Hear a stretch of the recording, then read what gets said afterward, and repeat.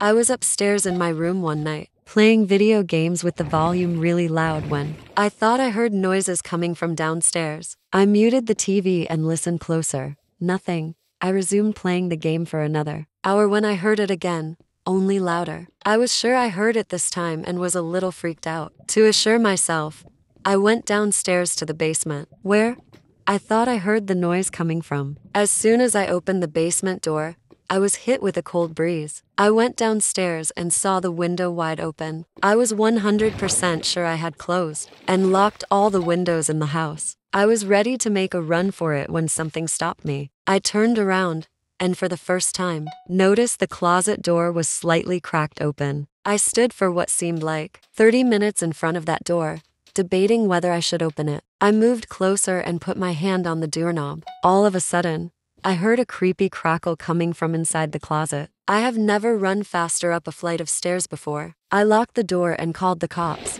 who had an unusually fast response time. They came in and searched the house, and not even five minutes into their search, I heard a gunshot from downstairs. A few minutes later, they came out with a deranged looking man, probably homeless. They put him in the back of the car and told me they had opened the door, and the man was holding a gun shot at them and missed. He luckily missed, and the cops disarmed him and arrested him. The scariest part was how close I was to opening that door and likely being murdered.